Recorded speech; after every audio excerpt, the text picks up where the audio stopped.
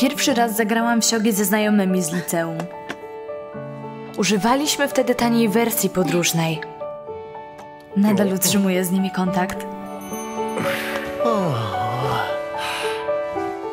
W 2011 poleciałam grać w siogi do Japonii. Było mi trochę smutno, że zostawiam Polskę, ale i tak nie mogłam się doczekać. Excuse me? Grałam nawet w samolocie. Mieszkałam niedaleko Tokio, w prefekturze Yamanashi.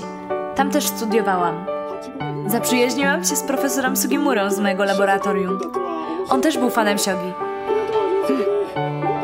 Nie zliczę, ile razy jeździłam do stolicy. Większość meczów rozgrywaliśmy w Siogi Hall. Non-stop wytężałam szare komórki, ale Porażka zawsze boli. Potem rozpamiętuję wszystkie złe ruchy.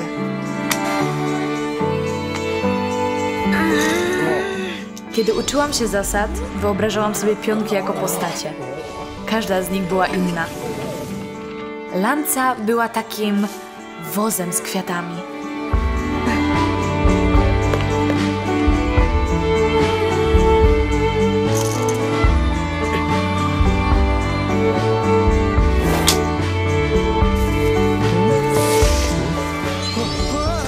A to srebrny generał.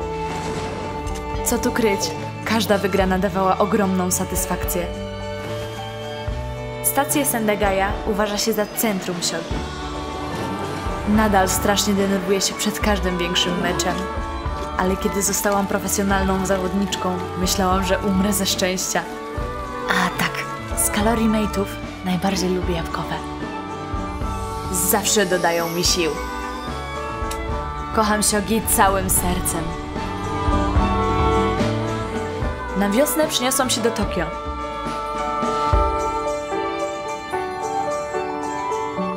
Smutno mi było zostawiać Yamanashi.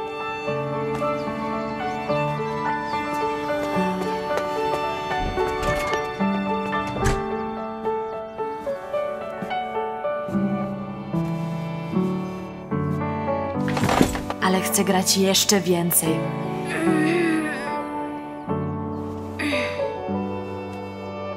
I stawać się coraz lepsza.